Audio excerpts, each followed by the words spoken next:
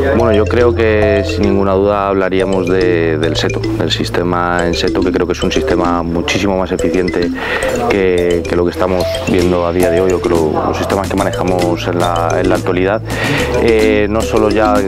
que sea rentable a nivel económico, que signifique que, tenga una rentabilidad mm, por encima de la, que, de la que tienen otros sistemas, sino si profundizamos a nivel de eficiencia, a nivel del uso de recursos, tanto energéticos eh, como de los propios recursos de la explotación, eh, creo que es el que predomina por encima de otros sistemas y son aspectos que se tornarán fundamentales de aquí a 20, 25, 30, 30 años y que van a marcar un poco cuál va a ser la tendencia eh, y las técnicas que se van a utilizar de aquí a, de aquí a futuros. Hablaremos de,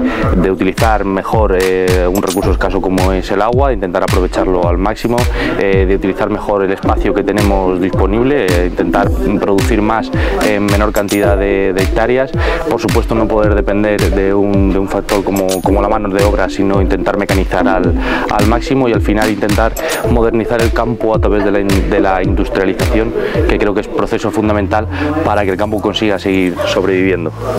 Bueno, en el Europa cultivo de almendro va a seguir creciendo y eso creo que estamos todos de acuerdo los que han estado como ponentes. Este pequeño bache que hemos tenido, hasta Sebastián Sá nos dado su opinión y esto lo hemos vivido históricamente y, jugamos a favor con una base fundamental, ¿no? un dato que he expuesto, que el consumo mundial es previsiones son de crecimiento continuado y que en esto hasta el año 30 habrá un billón más de consumidores en el mundo. Por tanto, yo creo que la tendencia es clara, va a seguir, evidentemente va a poderse modular en intensidad, pero va a seguir creciendo y una vez más en estos tiempos de turbulencia las empresas eficientes seguirán hacia adelante sin ninguna duda.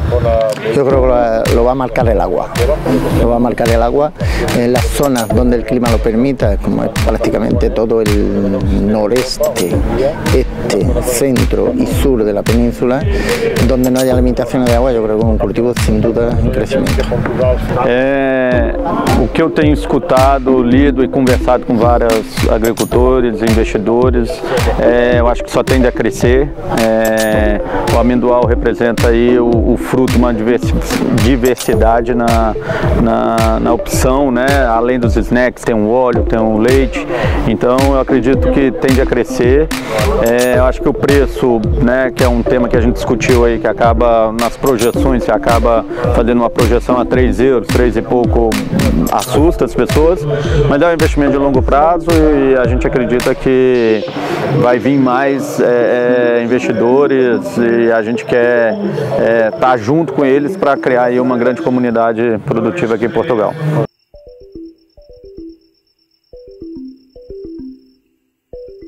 decisivo.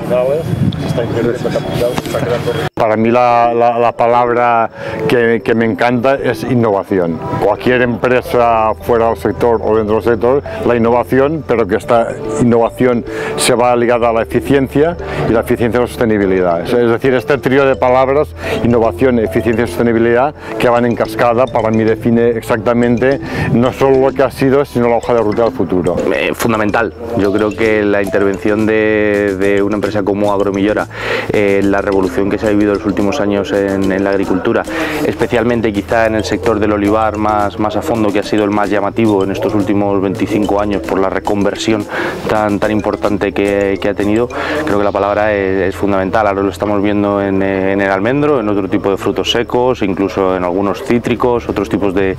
fruta, pero yo creo que esa, esa evolución de unos sistemas muy tradicionales, de muy, muy focalizados en, el uso de mano de obra y técnicas quizá